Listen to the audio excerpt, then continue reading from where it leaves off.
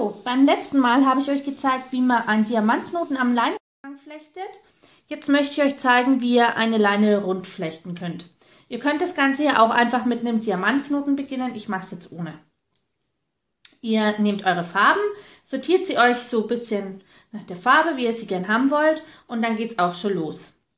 Ihr nehmt den zweiten und legt ihn unter den mittleren durch. Dann nehmt ihr den letzten und führt ihn auch hinten rum genauso über den mittleren durch. Dann sieht das hier so aus. Dann nehmt ihr den ersten, legt ihn in der Mitte zwischen den anderen beiden so rum durch. Dann nehmt ihr den grauen unten rum über den ersten so rum durch. Ihr könnt euch das eigentlich ganz einfach merken. Wenn ihr flechtet, habt ihr immer drei, die miteinander verflochten sind und einer, der hier so ein bisschen absteht. Ihr verflechtet immer den abstehenden.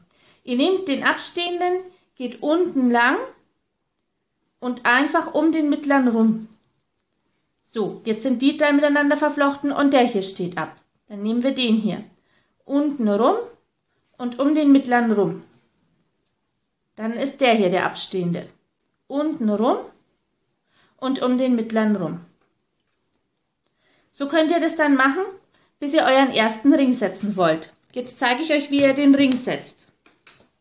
Ihr nehmt den Ring und tut ihn durch die, die ersten, also die mittleren Chords durch den Ring ziehen. Dann habt ihr das quasi so. Und dann wird ganz normal weiter geflochten. Die drei sind die verflochtenen, das ist der einzelne, der absteht.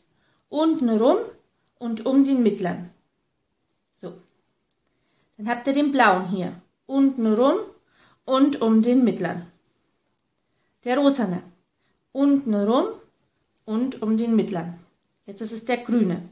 Unten rum und um den mittleren. Wie ihr seht, der Ring ist einmal frei eingeflochten.